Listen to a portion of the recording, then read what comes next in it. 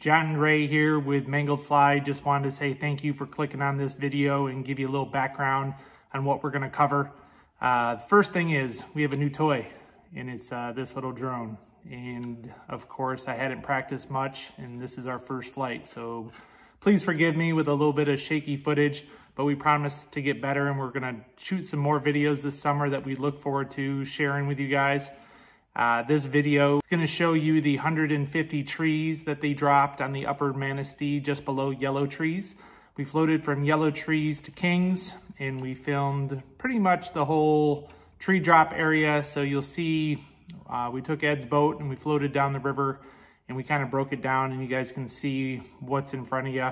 One of the coolest things that we saw already happening is the organic silt backing up right behind the trees that they dropped in, which is gonna create great hex habitat and allow the grasses that grow on the upper Manistee to fill in the riverbank and narrow the channel, which will then bring us deeper water and colder water. As if you guys have noticed over the last couple years, the Manistee has gotten real flat and a lot of the structure underneath has been covered by sand. We're already seeing sections of the river getting deeper.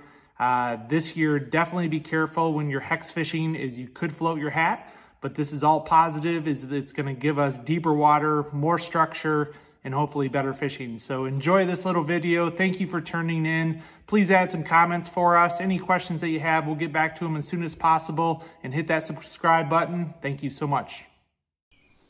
So coming up to our first area, we have trees on the right and on the left.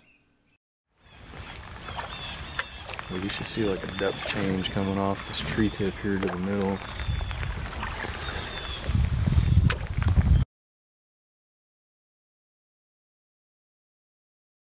Like these little bays were turning black on the bottom back in here.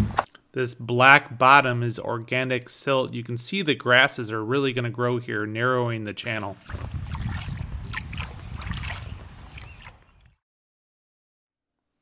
This inside bend is really going to start to fill up, creating great habitat for hexes and other muck bugs. Deepening the right side, looking upstream, the left side going downstream. Manistee River really lacks center structure.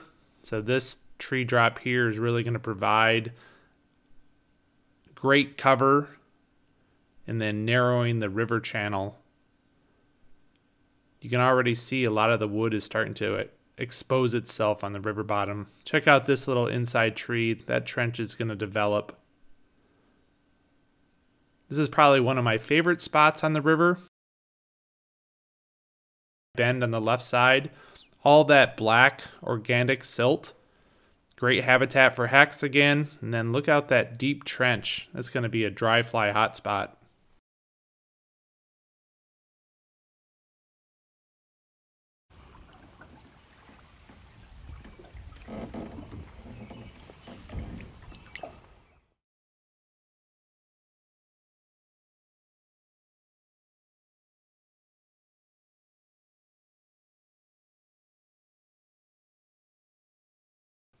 This is Rogers Landing.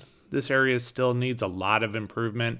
The trees are starting to do a little bit of work here, but this sand flat still needs a lot of attention. So wide and flat. Hopefully these trees will still start to fill in this inside and the water can start pushing that sand elsewhere.